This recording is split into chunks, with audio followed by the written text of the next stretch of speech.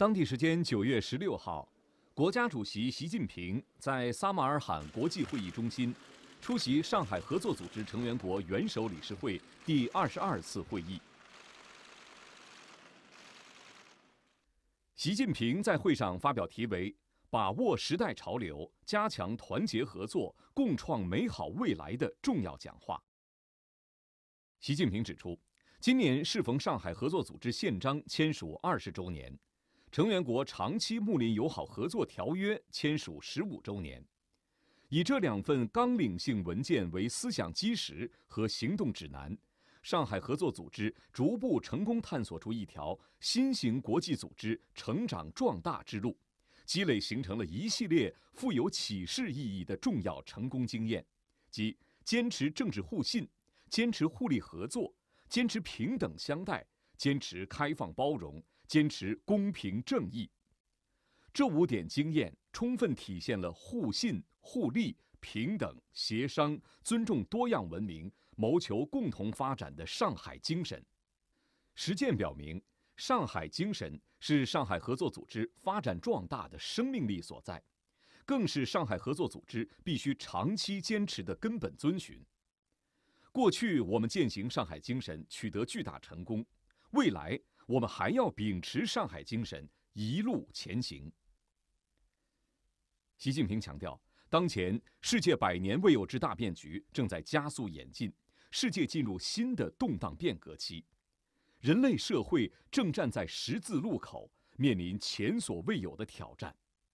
新形势下，上海合作组织作为国际和地区事务中重要建设性力量，要勇于面对国际风云变幻。牢牢把握时代潮流，不断加强团结合作，推动构建更加紧密的上海合作组织命运共同体。第一，加大相互支持，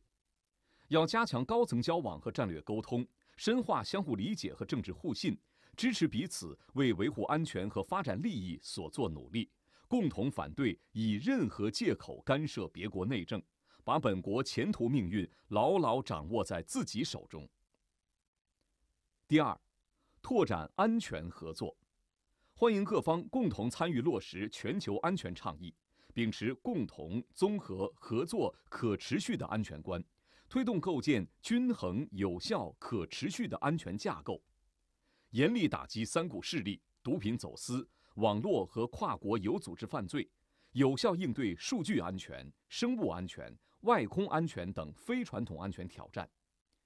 中方愿在未来五年为成员国培训两千名执法人员，建立中国上海合作组织反恐专业人才培训基地，强化各方执法能力建设。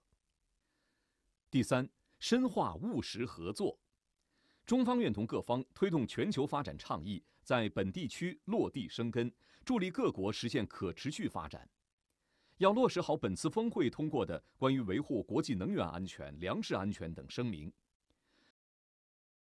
上海合作组织轮值主席国乌兹别克斯坦总统米尔季约耶夫主持会议。上海合作组织成员国俄罗斯总统普京、哈萨克斯坦总统托卡耶夫、吉尔吉斯斯坦总统扎帕罗夫、塔吉克斯坦总统拉赫蒙、印度总理莫迪。巴基斯坦总理夏巴兹、观察员国白俄罗斯总统卢卡申科、伊朗总统莱西、蒙古国总统呼日勒苏赫、主席国客人土库曼斯坦总统谢尔达尔别尔德穆哈梅多夫、阿塞拜疆总统阿里耶夫、土耳其总统埃尔多安以及有关国际和地区组织代表与会。成员国领导人签署并发表上海合作组织成员国元首理事会撒马尔罕宣言。会议发表了关于维护国际粮食安全、国际能源安全、应对气候变化、维护供应链安全稳定多元化等多份声明和文件，签署关于伊朗加入上海合作组织义务的备忘录，